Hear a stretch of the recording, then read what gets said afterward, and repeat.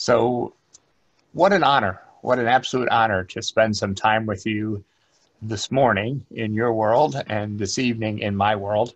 Um, it really is a, a, very, very distinct honor.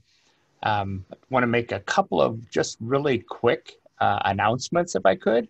Uh, number one, I tend to be pretty long winded, so I'm going to try to contain myself uh, as best I can so there's some time at the end for questions. Number two, I'm at my work office because our library has an awesome T6 line, which gives really good transmission, much better than my home office. But what that will mean for this presentation is we're going to have a couple of annoying closing announcements that will interrupt. And our security doesn't allow me to mute the speaker in my office. So if you can bear with me, I certainly will uh, bear with that as well. Um, I'm so pleased, just really pleased uh, to, to be with you. And thank you for getting up on a Saturday morning and uh, spending a little bit of time with me. I was so happy that the program committee picked this particular topic uh, for me to present. I hope that no one gets maybe even a tad bit annoyed about this topic, thinking, ah, Curt, I don't need to hear this. I know all this stuff already. Well, I, I, like this topic because, particularly at the beginning of a day, it kind of orients our thinking, orients our strategy, and I hope to make you think at least a few seconds about Am I doing the best I can do to find all my family stories, to find all the information I possibly can? Now, some of you, when you first see a couple of these slides, you're going to think, oh my gosh, I got up on a Saturday to hear this. Why did I do that? Well, th- this comes from literally four decades of my personal research experience helping family historians and genealogists in a library setting. And I've seen so many people stumble because they don't consistently apply good methodology. So you might even recall or retitle this presentation back to basics. So let's just begin. I'm so excited about the times we live in. Um, as the top of the slide says, it really is the best of times, but it's also kind of the worst of times at the same time. How can that be? Well, you have to, uh, I'm sure, confirm with me that there is so much data available to us that just one generation ago was not available. There's so much data and it grows literally every hour that should be exciting for us, right? We can no longer say, well, I just can't get there. I can't find the document. I've looked at everything that's available and I can't find it. If we claim to look at everything that's available, we have, pardon the use of the term, gajillions of documents and records to look at. So, so much data. What's the flip side of that coin? What's the risk? The risk is that we as researchers get overwhelmed and then quickly we settle. And what do I mean by settle? we settle for what's easy, what's convenient. We settle for what's ever on Ancestry or Find My Past or Family Search. All three really great sites, but there's so much more. One of um, the leading technologists in the genealogy space here in North America, and I'm sure you've heard of him, Dick Eastman, he has about 65 to 70,000 subscribers to his online genealogy newsletter. And he said last year, just a fraction of the data that's available is actually digitized and online now. So we still have to engage archives and libraries and researchers. So, so much is available. Possible that we get overwhelmed, and then from that, we settle. We settle for the easy stuff. And that doesn't always suit us. So, just a quick look so if I Google Irish genealogy, 16.7 million records. I Google Round Lake, Illinois, where my second son lives, 71.2 million. I Google Jennings family, 92 million. I Google Auckland, New Zealand, 141 million entries, results of my search. What do you do with that? Well, I like to tease people with that question. What do you do with that? Absolutely nothing. You need to refine your search. You need to be more, need to be more specific. So doing genealogy, I like to remind people, is a process. On one side of the spectrum, we don't do brain surgery, so we don't have to worry about injuring someone or somebody, somebody dying because of what we didn't do right. On the other side of the spectrum, there's no magic here. We don't just key something into a website and poof, there comes our ancestry back to Adam. That doesn't happen, right? So, what is the process? It's a three step process. Gathering all available data is the first step. And again, you might be saying to yourself, oh my goodness, Curt, I didn't come here to hear this, but I'm going to challenge you. Do you do that every time with every potential ancestor, with every family group, with every generation? If you don't try to gather all available data, you're shorting yourself and you will not discover, my belief, you will not discover your total family story. You've heard of the genealogical proof standard. The number one, the number one thing in that proof standard I love this. Reasonably exhaustive research has been conducted. What does reasonably exhaustive research mean? It means you have gathered all available data. Notice that doesn't say all conveniently available data. It says all available data. Number two and number three, I find myself doing this, and I bet many of you do this as well. And that is not do number two and not do number three. Number two is recording the pertinent data in a meaningful way. What does that mean? If I could see into the room there, I would ask for a show of hands. How many appreciate the phrase file by pile? Isn't that how we do a lot of our research? We go to an archive, we have an internet session, maybe we're online some night when we have insomnia and we're printing stuff out and saving stuff to our hard drive. In a week, in a day, in a month, when we're collaborating with cousins, when we're talking to other family members, can we really find that? Do we really know what source we got that information from? What website? What source put it on the website? What book? What microfilm? What source of that data? We gather, and I tease people sometimes a little bit. Are we researchers or are we hunters and gatherers? We hunt down information, we gather it, and then we put it somewhere. How many of us have these sort of honeycomb piles on our desk in our kitchen or our dining room or our study or our office? And here's the research trip to the state archive, and here's the research trip to the National Archive, and here's the online session that I had. And pretty soon you have this pile of paper or this uh, 115 data folders on your hard drive. And how do you access that information? The third point, analyzing the data to reach an appropriate conclusion. We don't like to think of what we do as being terribly um, onerous. Like, if we really get technical, what we as family historians do is we create hypothesis about who our family members are, and then we go to either prove or refute that hypothesis. Boy, that doesn't sound like much fun at all. What we do is we try to find our family stories and try to find who our real, honest to goodness, proven ancestors are. But at the end of the day, to do that successfully, we need to at least be thinking about analyzing the data that we have. So we're trying to gather all available data. So we bucket scoop in a lot of data. And then we need to record it, organize it, if you will. And then I fear so many of us don't take that third step to actually analyze what we have it's interesting. Again, I've been in the genealogy space more than 40 years. Here at the Allen County Public Library, pre COVID, we were serving about 70,000 people a year.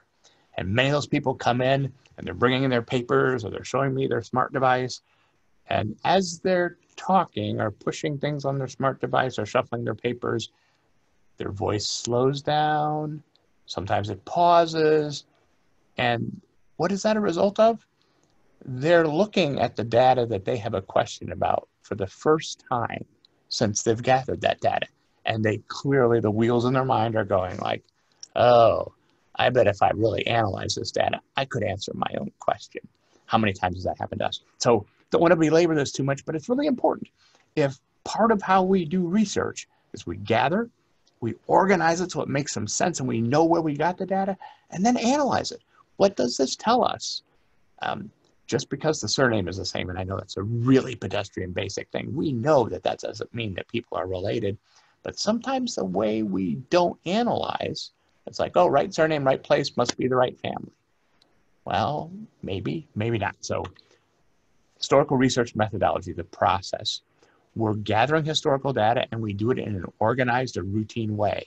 So the blue there on the left, you know, we work from the known to the unknown. We don't pick a place in the past and try to research around it or research forward. We work from the present to the past. Here in North America, there's the favorite ethnic group de jour, I like to call it. So some people like to say, oh, it's Italian American. I'm not going to look for my Italian ancestors. A big thing here in North America is to find your First Nations ancestors. And so, oh, I'm going to pick a famous uh, Native First Nations chief in the early part of the 19th century, and I'm going to prove forward to my line. No, we work from present to past, known to unknown, all available. And on the right hand side, in that sort of maroon reddish color, gathered, recorded, analyzed. That's huge for us.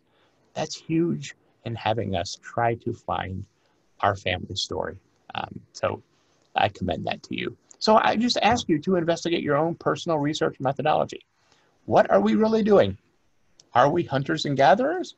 Or are we re- really researchers? Are we really trying to find our true family story? Really trying to identify those people that are in um, our family history? And is what we're doing really helping us accomplish the research?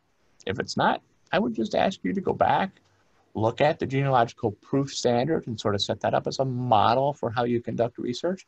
And if you don't want to do that, just remember those three things. I gather, I organize it so I know what the heck I have, and then I spend some time analyzing it because it's happened so many times in my own research and helping other people do research here in the Genealogy Center. Some of what you gather up initially doesn't fit. It's in a way trash. It's like, oh, that doesn't belong here. That doesn't belong in, in my family history. So we'll want to focus just for a few seconds on how do we record data. So um, genealogical data management software. So a lot of the big information aggregators, Family Search, Ancestry, they're not really very much in favor of us having separate genealogical data management programs. They'd like us to put everything on their site do what you feel comfortable with, but remember that uh, little saying, that little word, if you will, lots. Lots of copies keeps stuff safe. Don't just put your family tree on one thing. I like to focus a little bit just for a second or two on the types of genealogical data management program. The master genealogist, it was the Cadillac, Cadillac of genealogical data management programs, and it's been out of business for some time, but yet there are people that continue to support the program. What does that mean? How comfortable are we with that? Family Tree Maker was on their own, then they're owned by Ancestry. Now they're back on their own. They had a big data breach in recent days. What does that mean? Um, you know, are we putting our data where we can easily get to it? Is it safe? Is it secure? There's legacy. There's RootsMagic. PAF. What's up with PAF? And I'm being a little a little funny here, a little facetious, but first PAF is here, then PAF is not, then it's sort of supported, then it's not, then it is supported, then it's being pushed forward. So, you know, even how and where we record our data should we should be thoughtful about that. Uh, Reunion is a great program. Gramps is a free downloadable program. Second bullet point, do we extract data consistently? Do we cite the source? Can't tell you in 2020, and you think we would have solved this by now as a, as a group of of uh, genealogists and family historians every day, every hour of every day. People bring something up, and it's really important to know where that data came from. They have no idea. And sometimes I even get really technical comments like, well, I think it was a green book. Oh, good. That's helpful. Not ever. Um, do, do we cite our sources? Um, I don't have any stock, have no financial interest in paper companies or technology companies, but I'm a strong advocate for getting a copy of what it is that you might have keyed into your data management program.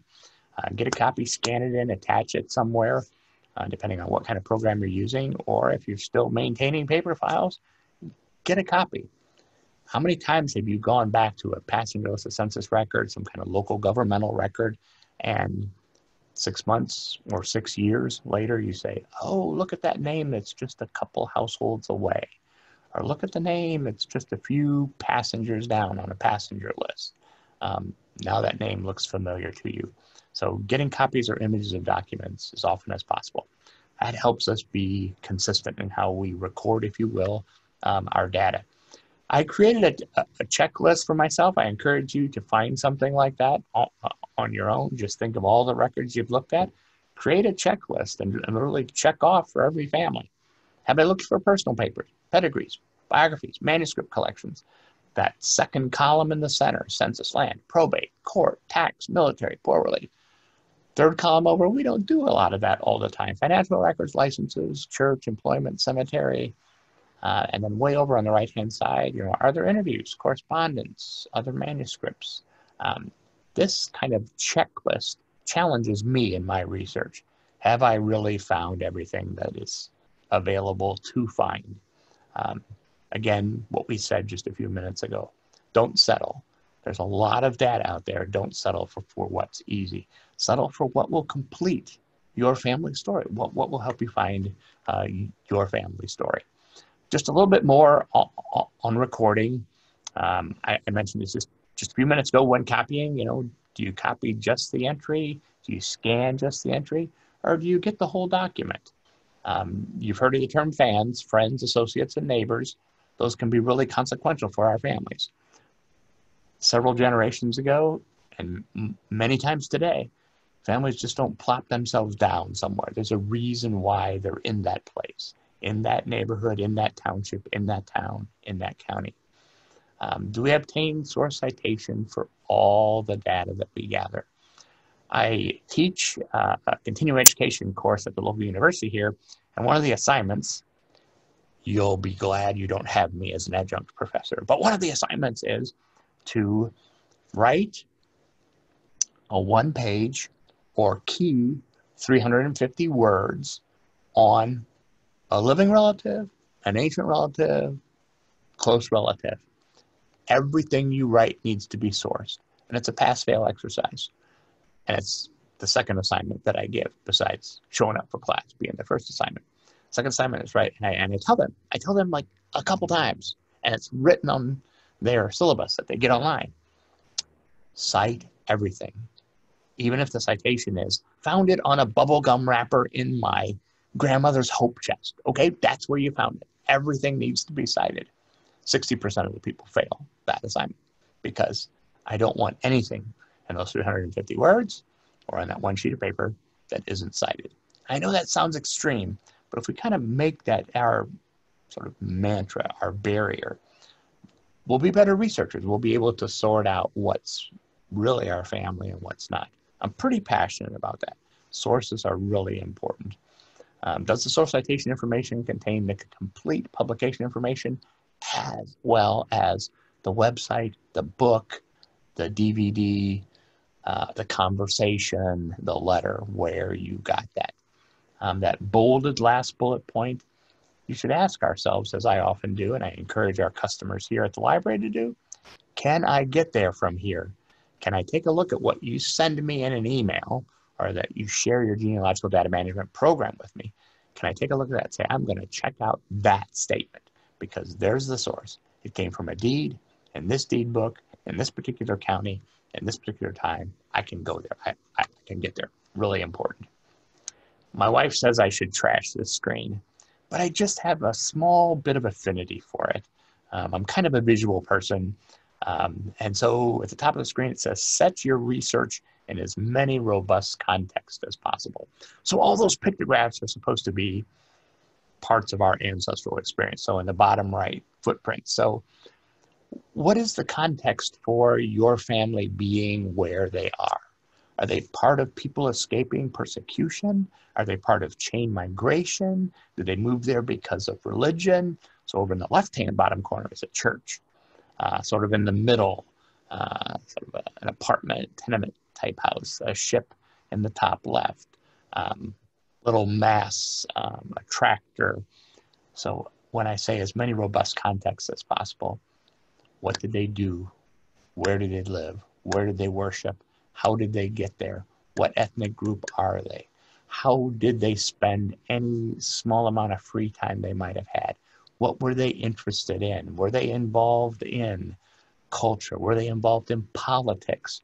in North America, in the British Isles, you know, the, the bench and bar, uh, lawyers, um, professors, judges, all those occupations and more provide us with context for where we can look for records.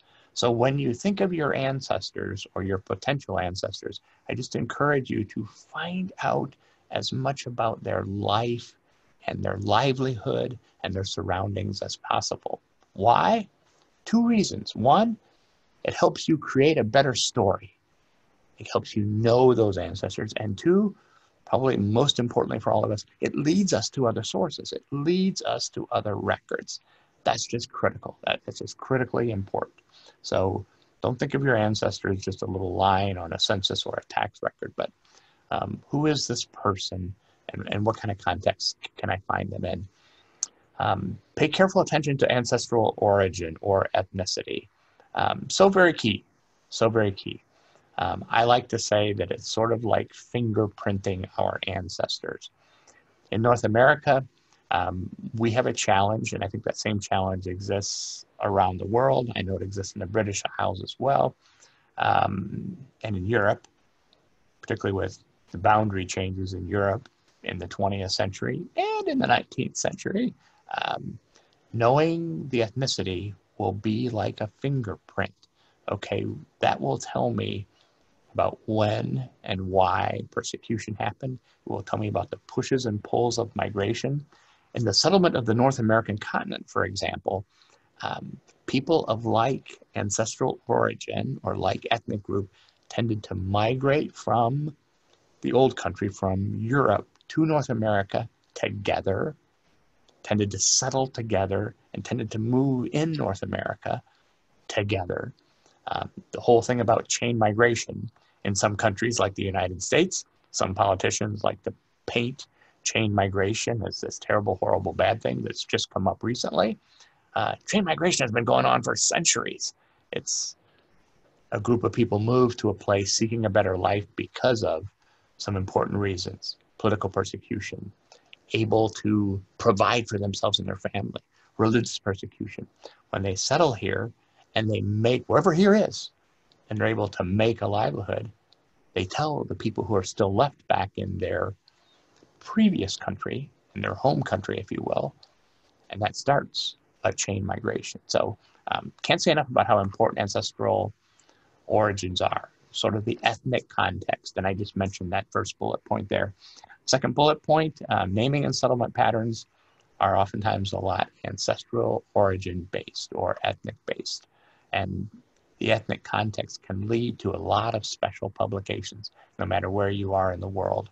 Um, if there's a focus on that particular ethnic group, you'll find some really neat things, including ethnic newspapers.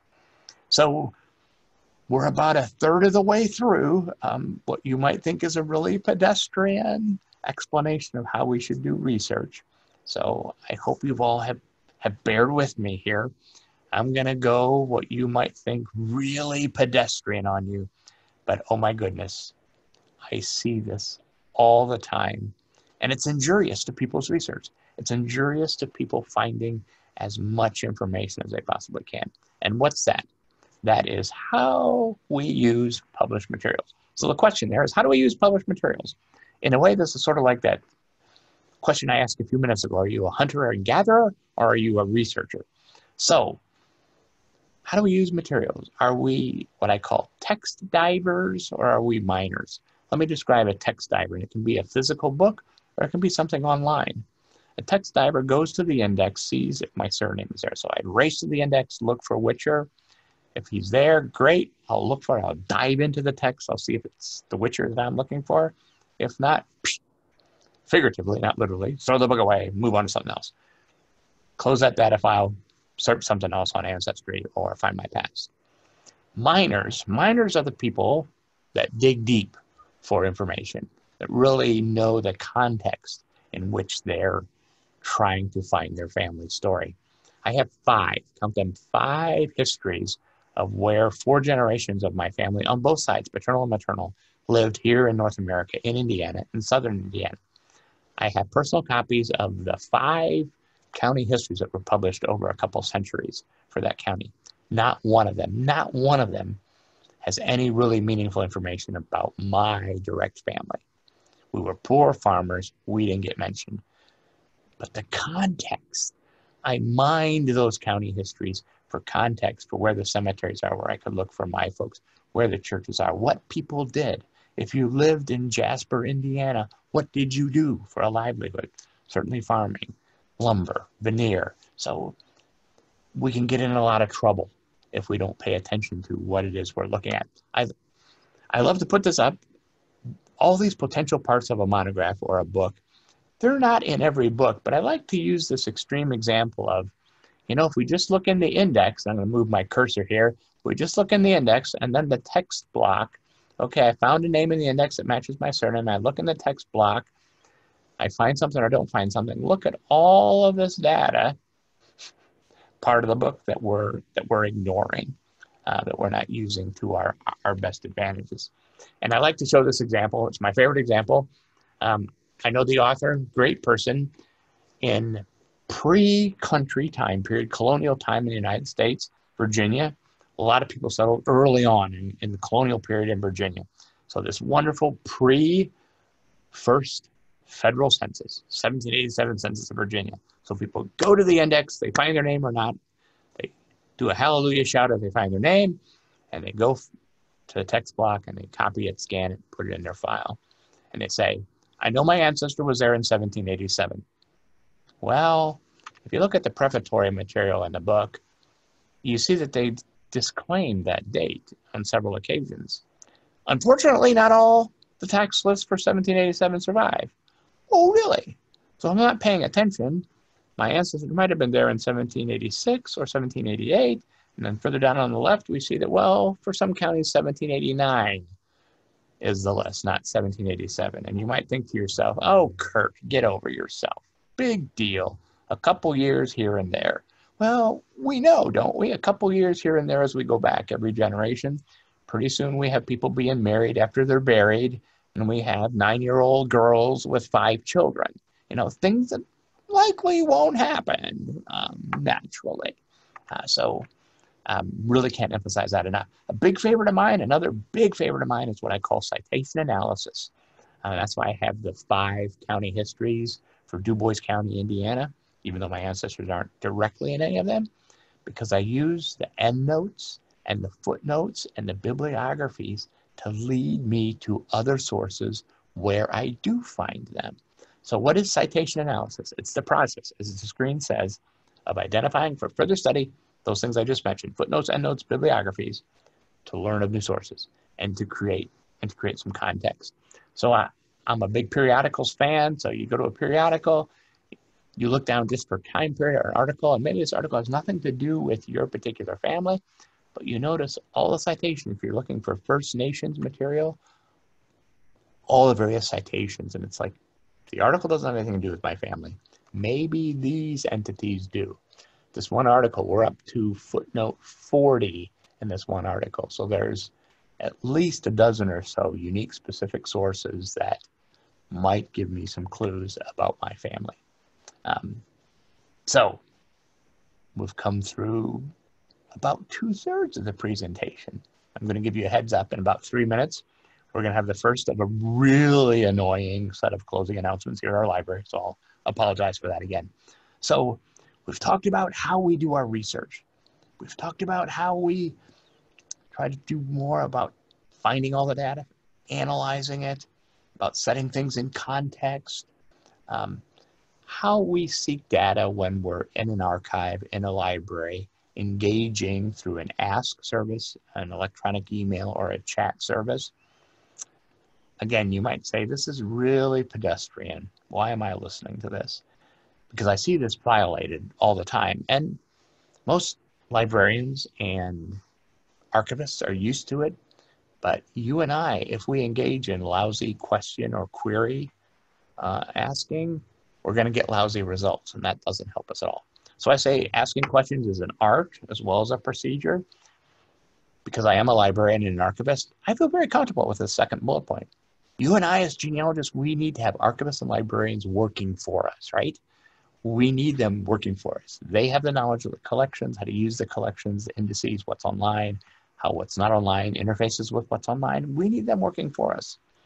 So that rather syntactical bold phrase there, know when to tell how much.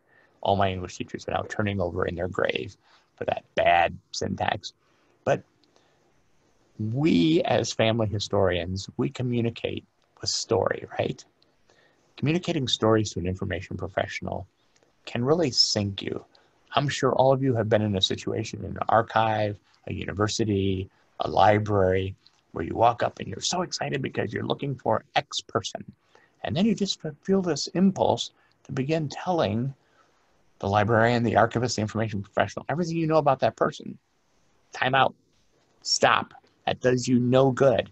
In fact, some of us can see almost a physical wall come down in front of the archivist like, oh, you're one of those people, one of those genealogist people.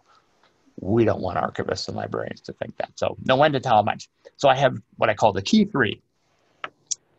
Sorry to bust your bubble on a Saturday morning. There is a horrible little secret I want to share with you, and that is nobody cares about your family. We're all excited about our family, but nobody cares about your family, or at least we should act that way. What do I mean by that?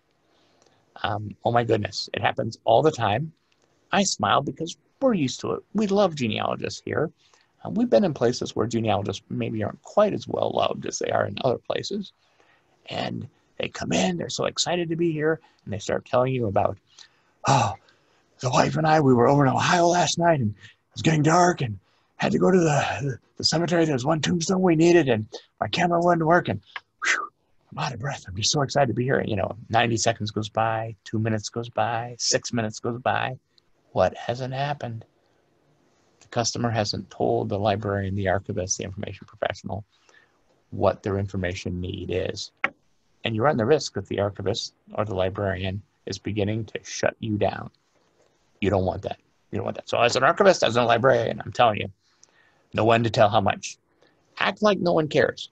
Give the information professional what they need to work for you, to find what's in the archive, what's in the library.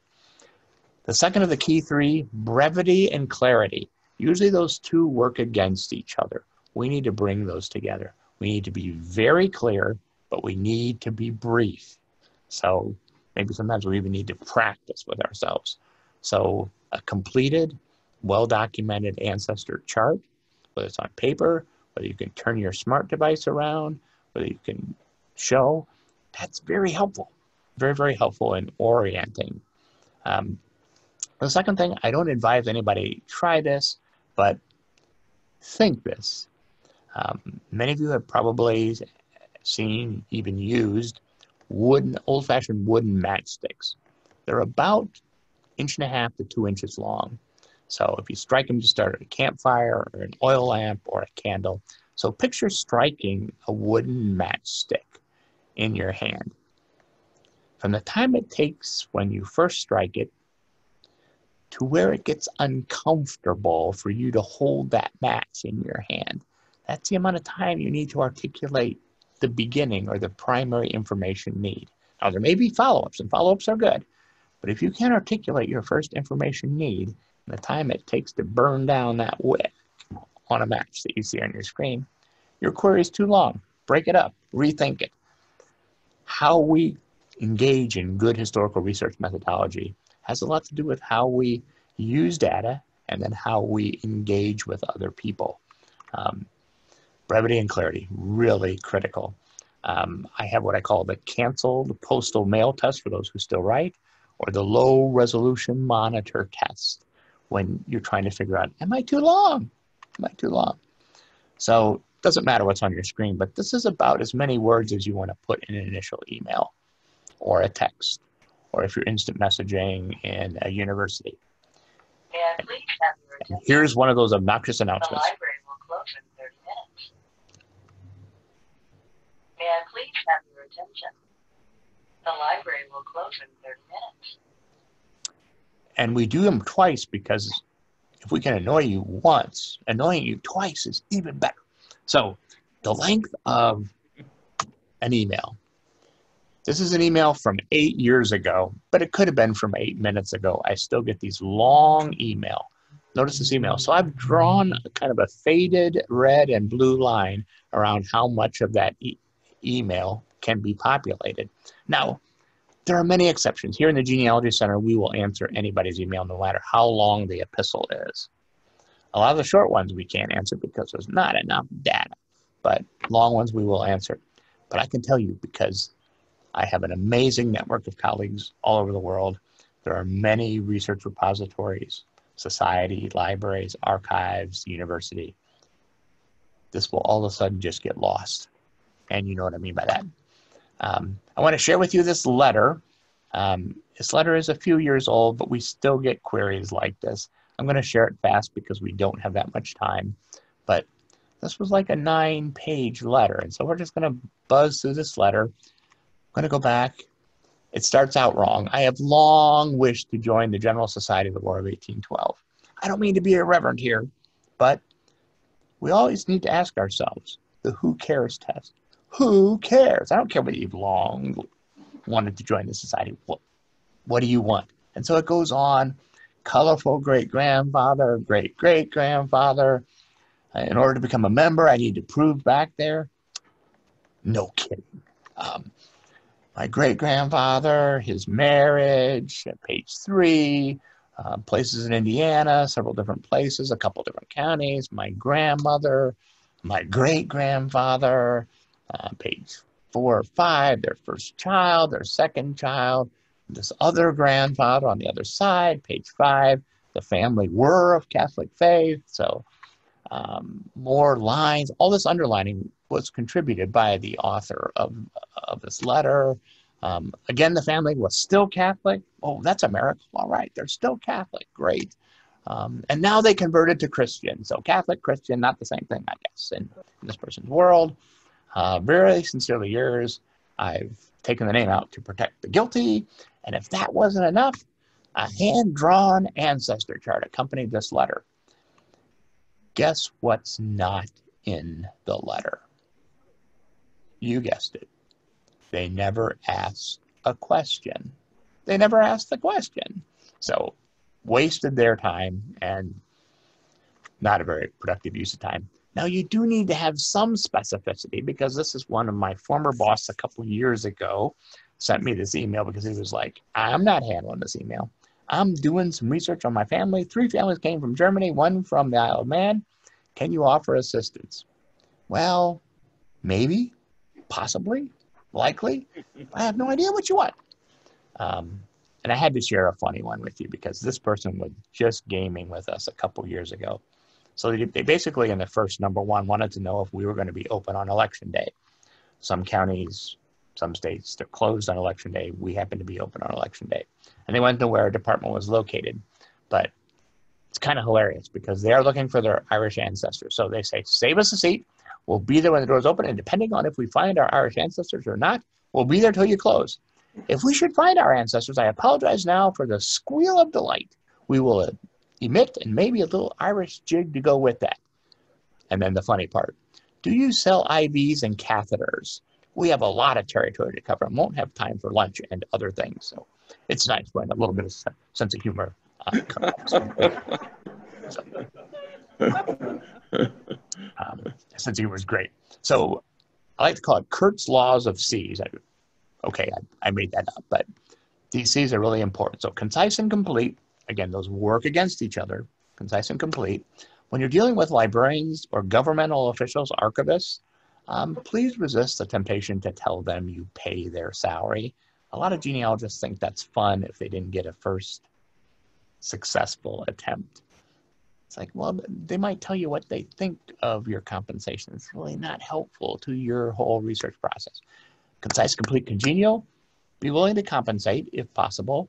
Um, I know I'm being a little snarky here and maybe painting with a broad brush, but if you're querying a church archivist or the secretary to a pastor, presbyter, minister. Sometimes a little offering just helps things move along a little faster. Always keep a copy, an e copy or a paper copy of everything you do. And again, The clear is down there to wrap you back around up to the top to concise and complete. Um, see if you can do that. I, I threw in timelining because that's part of what I call contexting. Plot what you know about your family along a timeline, a local timeline, a national timeline, an international timeline. You have to know if you're researching your family in the mid 20th century, mid ish, early to mid 20th century, you have to know that two world wars happened. And you have to know what happens with wars, international world wars. You have to know that. And you have to know when depressions happen because that causes people to move. It affects what people do. So, timelining your family. Um, I'll use this a couple times in presentations over the next uh, two days. Stop, drop, and roll is for more than fires. What do I mean by that? Stop doing, you know, sort of broad brush research. Drop down to a specific family in a specific place at a particular time. This is the potential ancestor I want to prove. I believe he's in this area. I believe during this time period. And then start building concentric circles, geographic circles. So neighborhood, town, township, county, state, etc. Wherever you're doing your research in the world, find those concentric civil geographic circles. Um, it, it, it'll help you. I want to know something about this particular town. And then I want to know something about the towns around it, and then the region, then the country. Um, that's really a great strategy. Um, it's critical to understand what I call the information gathering and archiving network or scheme. I know it looks confusing. Quickly, broad brush along the left-hand side where my cursor is moving. These are three big types of material published. Someone has done some research and published it. Official governmental records and unpublished. At the local level in North America, it's public libraries, courthouse, local archives, historical societies, local historical societies. At the state level, state libraries, state archives, state historical societies. At the national level, it's national libraries like ours that I'm fortunate to work at here in Fort Wayne, the Library of Congress, other major libraries. For governmental records, it's the National Archives. Um, bibliotheques all over Europe, they are national libraries. They'll have a lot of good information. And then down here in the right-hand corner, special focus collections and organizations. Those are special interest libraries like a National Railroad Library or Society of Friends collection. So if we keep in mind where we might find different pieces of information, that's very helpful. Effective use of libraries. We don't have a lot of time to, to discuss this because I want to leave some time for questions. But academic, special, state, and public are sort of general types here in North America, academic and state or university, governmental around the world. I want to just focus you for a second or two on the right-hand side of that slide. Um, I call it the rule of 50s. If an entity has been around since 1950, so the middle part of the last century, or has more than 50,000 volumes, you need to take a look at it. Visit the library virtually. See what their webpage has. Do they have an online catalog? Can you search for the surname, the ancestral origins, the occupations, the religion that you were um, that, that you're interested in? Um, if you do have a library uh, it's available to you that has a genealogy department, make sure you explore other areas of the library. That's why I put the little man with the mouth yelling and fist pounding. Um, not everything in a library is going to be labeled nicely for us genealogy or family history. It may be labeled government documents and law. It may be called the local history vertical file. So explore other areas of the library. Explore periodicals, and there are all kinds. There's seven of them listed. There are seven different types. Genealogical, historical, ethnic, surname, religious, occupation, and then online. Um, there's a lot of literature that's published in periodicals, so worth exploring. Newspapers chronicle the lives and times of people. So as you're focused in geographically, at stop, rock, uh, stop, drop, and roll, you're focused in. Find all the newspapers. Is there a newspaper that chronicles what's going on during the time period you're looking for your ancestors? It's amazing the detail you'll find in newspapers. Government documents. Look at every jurisdictional level for government documents. What's the government doing which may have evidenced my ancestors' existence in that place? Collecting taxes, certifying, approving, uh, land sales, military, um, all kinds of ways that the government around the world interacts with our families. Biographies, um, sometimes when we think about genealogy, we ignore biographical sections. I like to say, what's a genealogy? Biographies tend to be kind of thin and broad, and genealogies tend, tend to be vertical. To my mind, the perfect genealogy is a collection of robust biographies. I'll harken back to my work as an adjunct professor. The third assignment that I give to my students, and you would love this one, is they have to remember I said they had to pick an ancestor, any ancestor, and write about them. The one that they wrote about, they can't write about the second time, but they need to pick another ancestor, and they need to write a thousand word essay, either keyed or handwritten, about the ancestor. Their eyes get big as saucers. Why do I do that? Because I want to encourage, entice, force them to really dig deep, to look for all the data, and and you can do it. Um, compile a robust biography for each for each ancestor. Visit research facilities virtually before you visit them in person.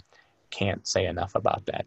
It's really horrible when you travel hours or maybe even a day to get to a research repository, only to find out that they're celebrating turtle days. And no one else in the entire Milky Way galaxy, except this town, celebrates turtle days, but there you are. Archive closed because they're celebrating turtle days. And yes, there is actually a celebration in Indiana that closes down a town for turtle days. Um, so take full advantage of online access. Uh, you know about all these Family Search, Family Search Wiki, GenWeb, Internet Archive, juried research. That's my encouragement to you. Research completely, record accurately, document thoroughly, think broadly. I hope I've left a few moments for questions. We're coming up within a few seconds of another obnoxious Allen County Public Library uh, closing announcement. So we'll just work through that. So um, questions or comments? She asked, um, you mentioned jury research. Can you expand on that? Yes, yes, um, great, uh, great question. Thank you very much for that question. Um, I really kind of skimmed over that. Um, I don't want to get too verbose or too technical uh, because we could be here like all night just for this, um, and you're still in the morning. Um, in no other endeavor, and we do genealogy because we like it. It's our family. It's fun, right? It's engaging. But in no other endeavor of research, and what we do at the end of the day is research, do we not put out our research for others to take a look at? We're almost like, this is mine. I'm not going to share this with you. So, what I mean by juried research is we should spend some time posting whatever part of it we can post or going to family associations or going to ethnic organizations and saying, here, this is what I think. These are the sources that I've used. What have I missed? What am I misinterpreting? Um, in physics, in science, in literature, in economics, people are throwing out theories and people are reacting to them. We're creating theories, right? This is my hypothesis about who my family is. Here's, please have your attention. I'll pause for just a moment. The library will close in 15 minutes. If you wish to check out library materials, please do so at this time. May I please have your attention? The library will close in 15 minutes. If you wish to check out library materials, please do so at this time. It'll be so nice. The other two presentations that I'm giving today will have none of those announcements. It'll be glorious. Um, so eh, I really think it's important as family historians, as researchers, we do not frequently enough, hardly ever actually, put our research out for other people to react to. Not exactly sure why. I'm sure a sociologist can tell us, but I benefit so much from even some of my snarky cousins that I don't really want to spend a whole lot of time with on a regular basis. They can ask some questions like, uh, why did I think of that? Or, oh, yeah, you're right. Or, why didn't you tell me this before? But having someone take a look at your research. Um, oftentimes, archivists, not as much as librarians, will enjoy the opportunity for you to say, can you just look this over and tell me if I've missed something that you might have in your collection that will benefit my research? So at many levels. If you, Hello. if you find um, in your research that you found that someone has made a mistake, either in their story or in their writing, do we have a responsibility to correct that or to do something about it? Great question. And, and you probably have, I shouldn't say probably, you may have run into archivists and librarians who are very reticent about changing anything. Um, and I'll have to admit that's what happens here in our library. People will come up and say, This fact is wrong. Can you cross this out or change this? And, and we never do. And you might say, Oh, that, that's terrible. How do we ever get the right information there? Um, as uncomfortable as it might be, as challenging as it might be, I think the onus is on us to publish the correction. Um, so we encourage people all the time if they find a story or a diary entry on our website, a compiled family history, both in print and on our website, and they say, that paragraph is wrong, change that. We'll say, no, that's the information we were given, and we really don't know the veracity of the change or the original information, but we just strongly encourage and welcome people to publish. If it's in a print form, we will catalog the book so that it rests right next to the book that has the error in it. If it's online, we'll put it right in with as a footnote, as an appendix, as an endnote. We'll put it right in with the data so someone can see here's the original. Oh, look over here. Here's another opinion, another fact, another something that the person originally missed. Um, it's important, um, but the onus is sort of on us to publish corrections and addenda. Thank you. Thank you.